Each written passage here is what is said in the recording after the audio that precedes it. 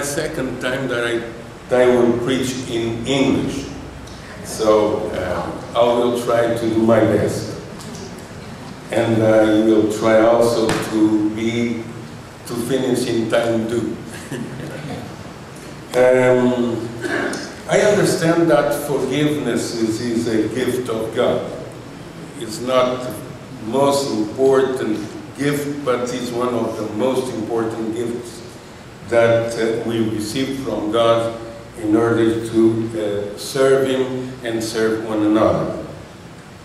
Uh, human nature ha has always in mind revenge and retaliation. Human nature always has uh, in mind also uh, life for life, eye for eye, tooth for tooth, hand for hand, and food for food, as it says in Deuteronomy 19:21. So this is the way uh, human nature thinks, human nature feels.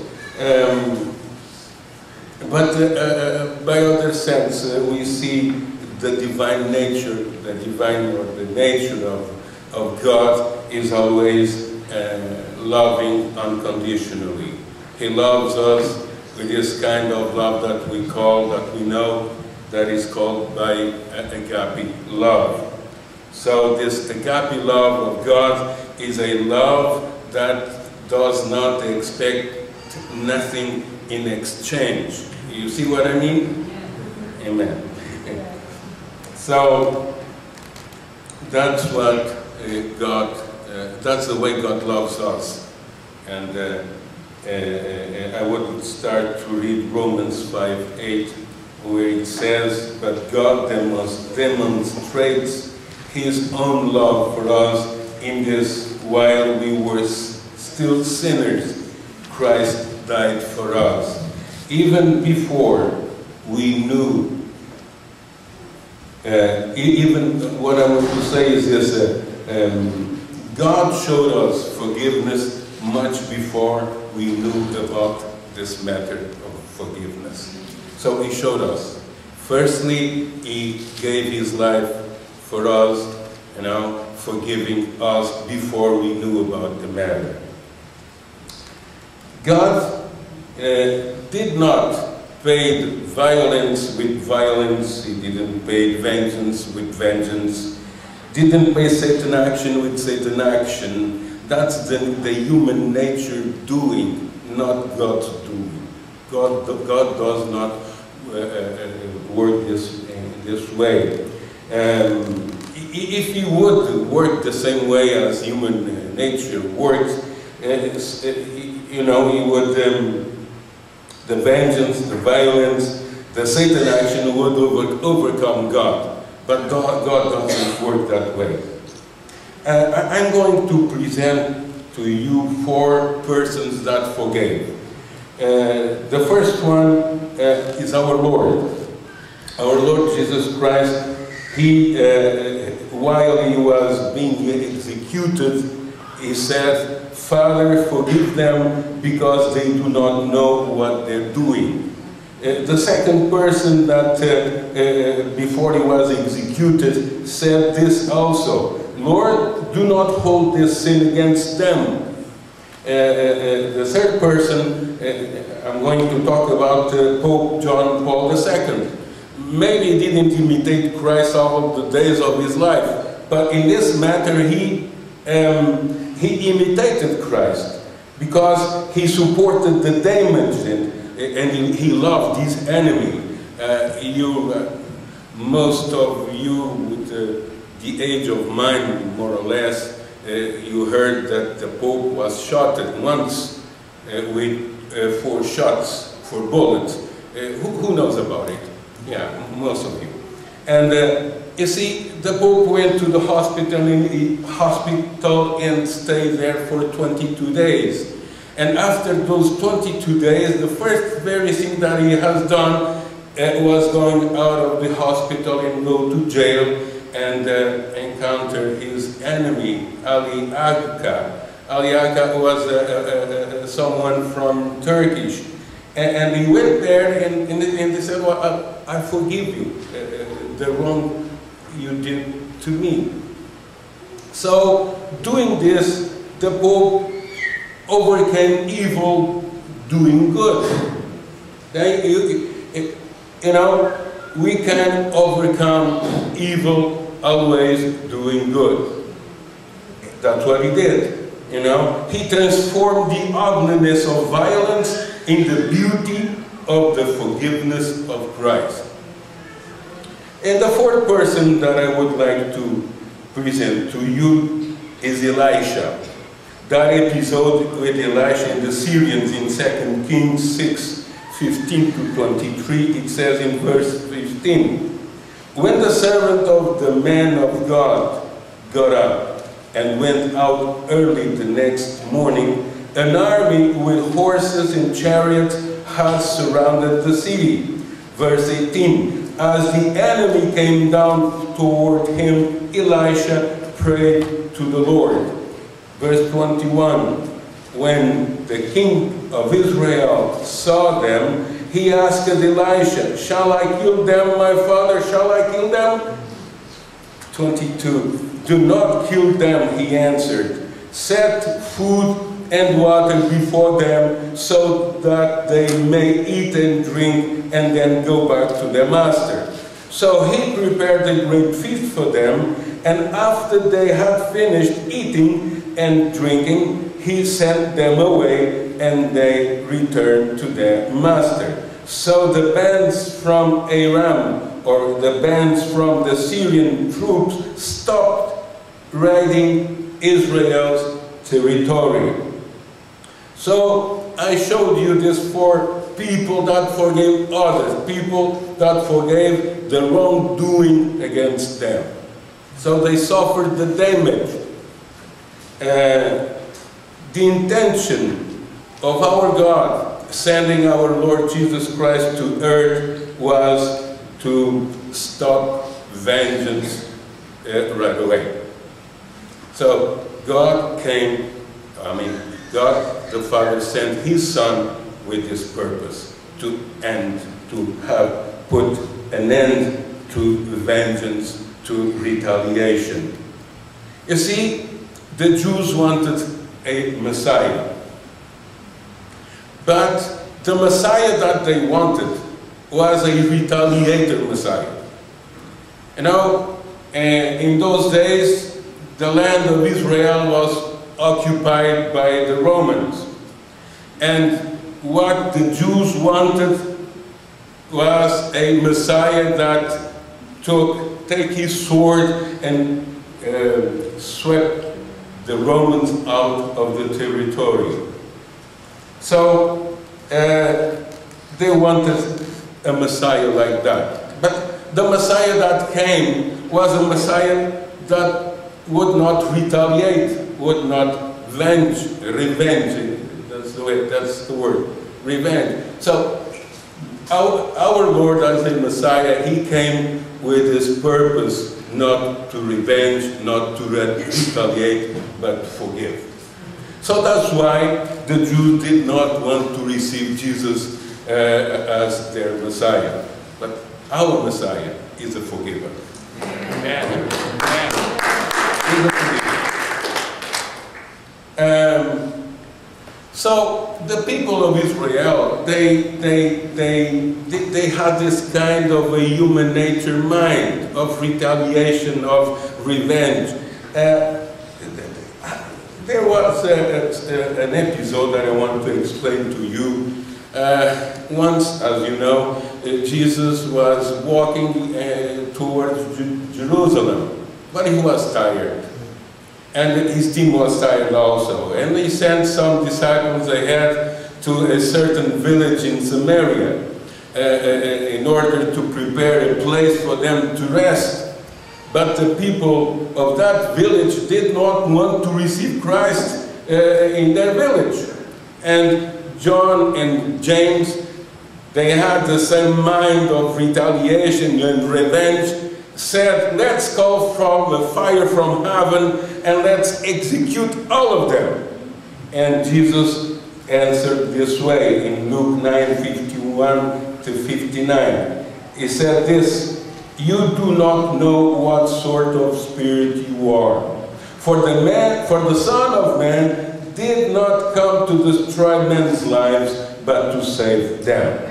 Amen? So God doesn't want vengeance, God doesn't want retaliation. Amen? As we saw already before, he didn't come as a Messiah to retaliate, but to forgive. Uh, I'm going to jump in my in my in my text. I want to finish in time too. But uh, I would like to read a few verses and then finally I want to give you a testimony.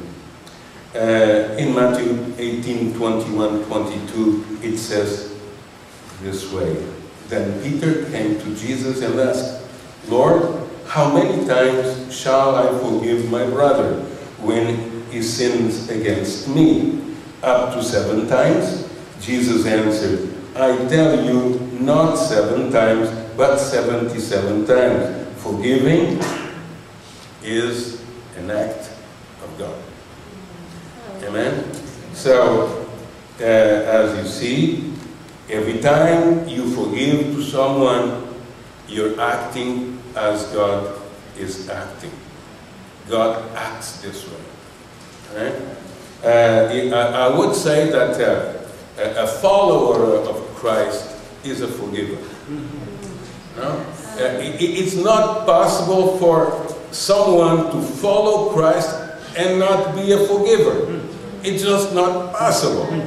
Right? So uh, we have the power, we have the nature of Christ. So as He forgave, we need to forgive also. Amen? So we have the same nature. Uh, if you say, well, I cannot forgive that person. You do not know what he, he, he did to me. It was hard. It was difficult. But you, if, you are, if you are in Christ, and I believe that all of you are in Christ, it's not difficult for you to forgive. Amen? Amen. Oops.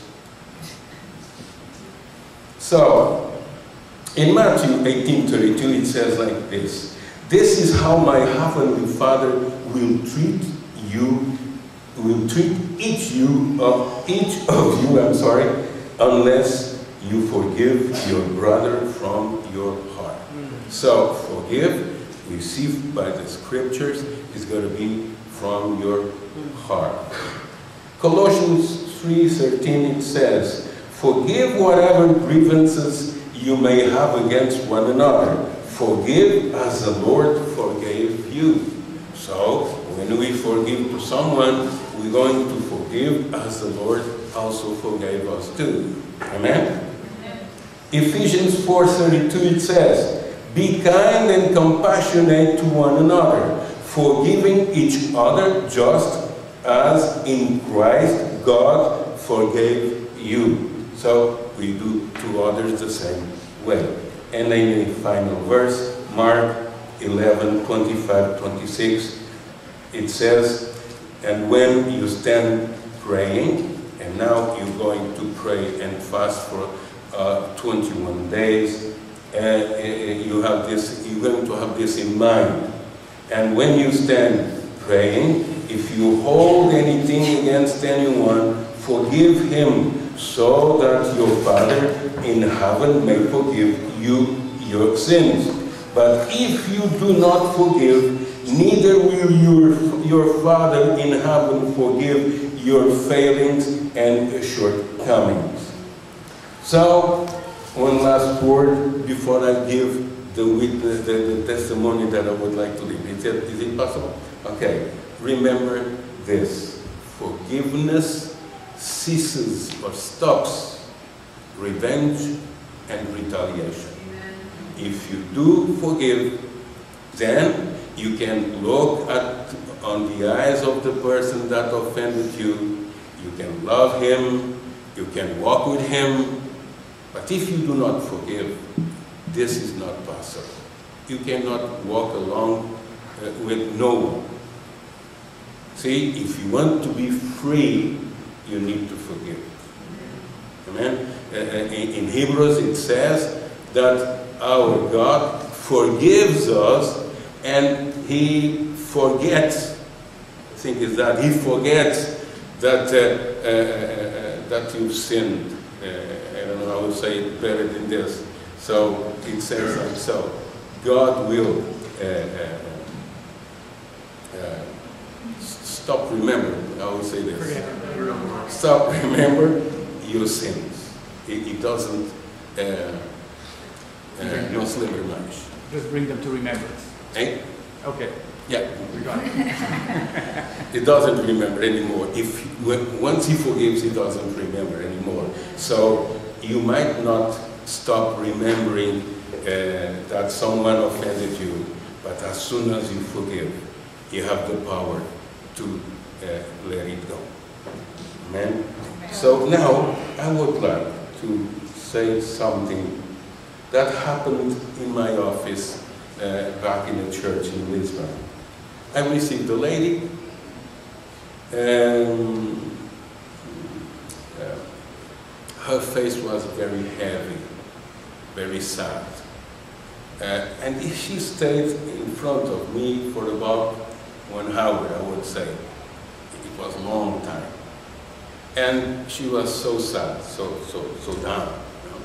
And um, I, I- I didn't know what to say to her because I didn't know what was the problem. And then all of a sudden I asked the Lord, Lord, please you gotta help me because I don't know how to help this lady. And all of a sudden our Lord gave me an image. And this image, I saw a room. And the room has its furniture on the left side, on the right side, on the bottom, and on my side, on, on my right side, on the top, was a shelf with uh, dolls, about uh, half a meter each.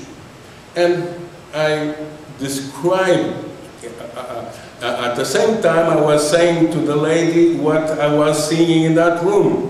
So I, as I was describing the, the, the shelf and the dolls that were there, uh, uh, uh, the last one was uh, red and, and, and black, and uh, it, it looked like the like the, the, the Mickey Mouse of the the, uh, the, the Disney.